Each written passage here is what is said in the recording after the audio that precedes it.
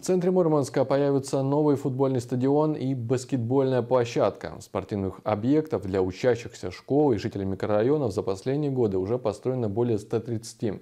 В этот раз стройка развернулась рядом с лицеем номер два.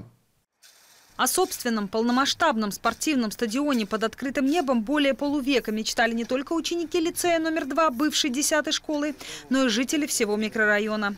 Спортивный объект строится по всем правилам. Выемка грунта, послойная укладка основы так называемой подушки из специальных материалов, формирование самой площадки, а затем покрытие будущего футбольного стадиона искусственной травой.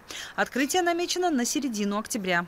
Находится, мы видим, школа в таком вот старом мурманском центре, микрорайоне. Э, стадион окружен жилыми домами, и вот здесь уже предусмотрено, э, вернее, учтены те ошибки, которые сделаны э, в других микрорайонах, микрорайонах, когда мы ставили вот эти стадионы, потому что, э, как правило, на стадионе с утра до вечера люди занимаются футболом, мяч летает, и вот э, перелетает, естественно, жалуются соседи, что и по окнам достается, и вообще мяч мешает, особенно когда люди идут, на тебя мяч летит. Поэтому здесь даже сетку-улавливатели установлены, достаточно высокие ограждения.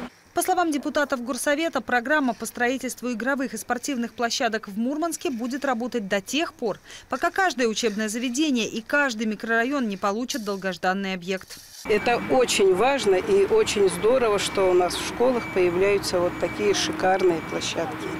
Я думаю, что срок сдачи через месяц, и мы придем, посмотрим и будем радоваться вместе с нашими э, школьниками и их родителями.